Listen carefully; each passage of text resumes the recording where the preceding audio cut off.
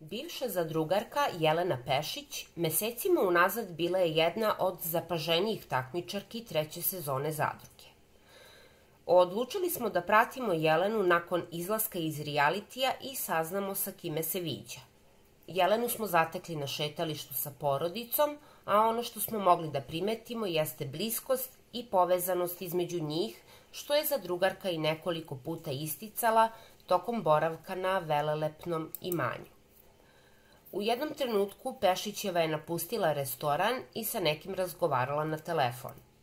Nešto kasnije su joj se pridružili braća Lazar i Petar, koji su vrlo često bili tema za drugarskih priča.